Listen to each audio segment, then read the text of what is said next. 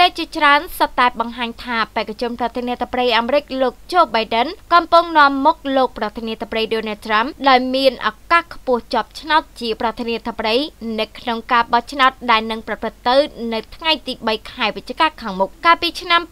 2016ការស្ទង់មតិដូចគ្នានេះក៏បានបង្ហាញថាលោក Trump នឹងចាញ់លោកស្រី Hillary Clinton ដែរតែចុងក្រោយអ្នកអង្គុយកៅអីសេតាវិមានបែរជាលោក Trump ទៅវិញនៅសហរដ្ឋអាមេរិកការស្ទង់មតិមិនមែនកំណត់អ្នកឈ្នះអ្នកចាញ់ឡើយហើយប្រជាជនអាមេរិកក៏មិនមែនជាអ្នកបោះឆ្នោតជ្រើសរើសប្រធានាធិបតីដោយផ្ទាល់នោះដែរតែអ្នកបោះឆ្នោតតំណាងទៅវិញទេដែលជាអ្នកសម្រេចថាតើរវាងលោក Trump ឬលោក Biden នរណាជាអ្នកឈ្នះដូច្នេះការនិយាយថាលោក Trump នឹងបរាជ័យវាហាក់ដូចជាលឿនពេកក៏ប៉ុន្តែបើសិនជាលោកបរាជ័យពិតមែននោះមិនមែនតែលោក Trump តែម្នាក់ឯងនោះទេ ដែលបរាជ័យពលគឺមេដឹកនាំលោកមួយចំនួនក៏ប្រហែលជាត្រូវប្រឈមមុខនឹងការខាត់បង់ធ្ងន់ធ្ងរដែរមេដឹកនាំទាំងនោះរួមមាន1លោកគីមចុងអ៊ុនទំនាក់ទំនងរវាងសហរដ្ឋអាមេរិកនិងកូរ៉េខាងជើងបានផ្លាស់ប្ដូរយ៉ាងខ្លាំងនៅក្រោមរដ្ឋបាលលោកដូណាល់ត្រាំក្នុងនោះរួមមានចាប់ពីការប្រមានសង្គ្រាមពាក្យសម្ដីលាយឡំជាមួយការប្រមាថរហូតដល់ទំនាក់ទំនងលោកល្អឿនចម្លែករវាងលោកត្រាំនិងលោកគីមចុងអ៊ុន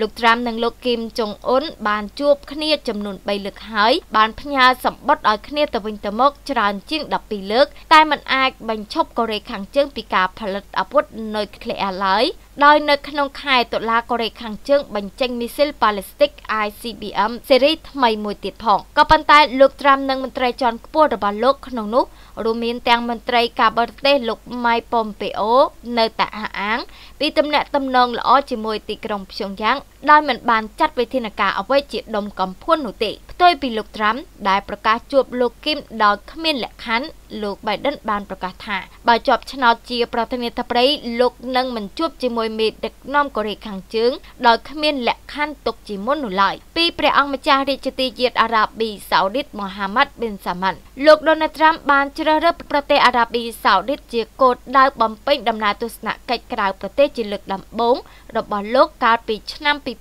2017 ដែលមានការទទួលស្វាគមន៍យ៉ាងកក់ក្ដៅពីព្រះអង្គម្ចាស់មូហាម៉ាត់ប៊ិនសាម៉ាន់នៅពេលសមាជិកសភាអាមេរិកមកពីគណៈបកប្រជាធិបតេយ្យចង់ឲ្យព្រះអង្គម្ចាស់ប៊ិនសាម៉ាន់ទទួលខុសត្រូវ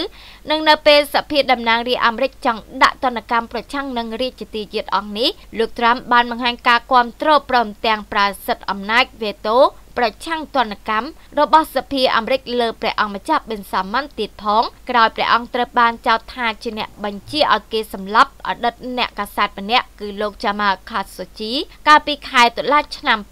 2018រឿងដែលលោកត្រាំបានធ្វើឲ្យអារ៉ាប៊ីសាអូឌីតសប្បាយចិត្តបំផុតនោះគឺការដកអាមេរិកចេញពីកិច្ចព្រមព្រៀងនុយក្លេអ៊ែរអ៊ីរ៉ង់ឆ្នាំ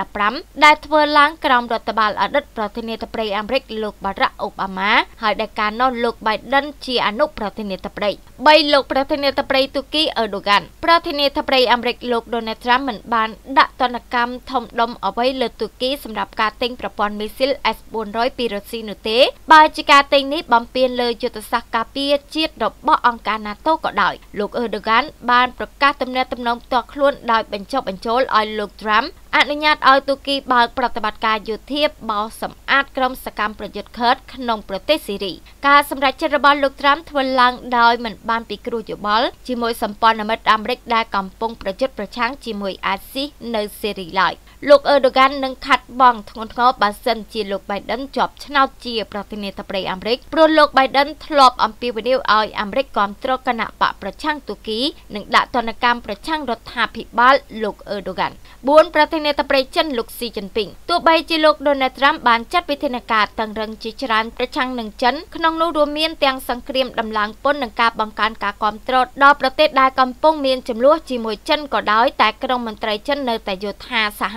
រដ្ឋអាមេរិកនៅក្រោមរដ្ឋបាលលោក Donald Trump ងាយស្រួលទប់ទល់ជាងត្បិត4ឆ្នាំមកនេះនៅក្រោមការដឹកនាំរបស់លោក Donald Trump ដើរទន្ទឹមគ្នាជាមួយនយោបាយដំកល់ផលប្រយោជន៍អាមេរិកមុនគេឬ American First បានធ្វើឲ្យសម្ព័ន្ធភាពជាមួយបណ្ដាប្រទេសអឺរ៉ុបប្រេះឆាយ៉ាងខ្លាំងដោយមិនអាចប្រមូលផ្ដុំកម្លាំងចិនហើយរឹតតែសំខាន់លោកត្រាំបានដកអាមេរិក ចេញពីកិច្ចព្រមព្រៀងអន្តរជាតិជាច្រើន ដែលកាន់តែផ្ដល់ឱកាសឲ្យចិនដើរតួជាអ្នកគ្រប់គ្រងប្រព័ន្ធពហុភាគីនិយម ប្រឆាំងឯកតោភាគីនិយម។សម្រាប់ក្រុមមន្ត្រីចិនទាំងនេះទោះជានរណាធ្វើជាប្រធានាធិបតីក៏សហរដ្ឋអាមេរិកនៅតែប្រឆាំងចិនដដែលទាស់ខុសត្រង់វិធីសាស្ត្រតែប៉ុណ្ណោះតែបើសិនជាលោក Biden ក្លាយជាប្រធានាធិបតីនោះចិនអាចនឹងខាត់បង់ធ្ងន់ព្រោះលោក Biden នឹងប្រមូលកម្លាំងសម្ព័ន្ធមិត្តរបស់ខ្លួនឡើងវិញដើម្បីទប់ស្កាត់អធិបតេយ្យចិន5ប្រធានាធិបតីរុស្ស៊ីលោក Vladimir Putin ដូចគ្នានឹងចិនដែរនៅរុស្ស៊ីប្រហែលជាចង់ឃើញលោកត្រាំជាប់ឆ្នោតជាងលោក Biden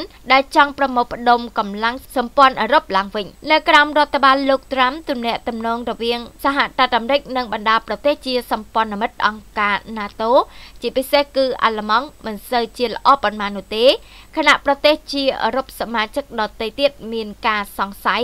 ចំពោះការបដិញ្ញាចិត្តរបស់អាមេរិកក្នុងការជួយពួកគេប្រឈមមុខជាមួយប្រទេសរុស្ស៊ីនិយាយឲ្យងាយស្ដាប់លោកពូទីនចង់មើលលោកត្រាំឆ្លោះគ្នាជាមួយអឺរ៉ុបជាជាងចង់ឃើញអឺរ៉ុបនិងអាមេរិកល្អុកល្អឿននឹងគ្នា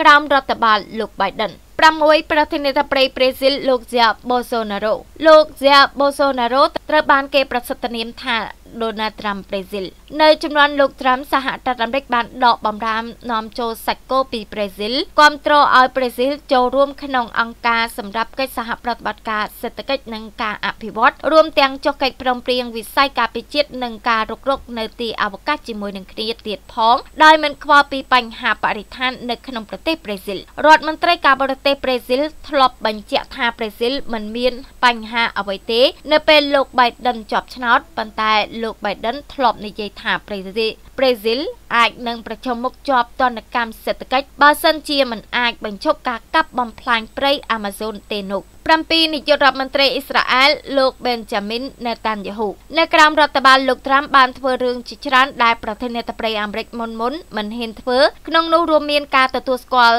ទីក្រុងសេរុយសាឡឹមនិងតំបន់ Golden Heights ជាកម្មសិទ្ធិរបស់អ៊ីស្រាអែលកាលពីខែកញ្ញាកន្លងទៅលោកត្រាំថែមទាំងធ្វើឲ្យប្រទេសបារ៉ែននិងអេមីរ៉ាត់អារ៉ាប់រួមយល់ព្រមបង្កើតទំនាក់ទំនងទូតនឹងគ្នាផងដែរក្រុមមន្ត្រីអ៊ីស្រាអែលកំពុងបារម្ភថារដ្ឋបាលលោក Biden មិនរក្សាគោលជំហរគ្រប់គ្រងអ៊ីស្រាអែលដោយលោកត្រាំហើយអាចនឹងចូលរួមក្នុងកិច្ចព្រមព្រៀងនុយក្លេអ៊ែរជាមួយអ៊ីរ៉ង់ជាថ្មីក៏ថាបាន។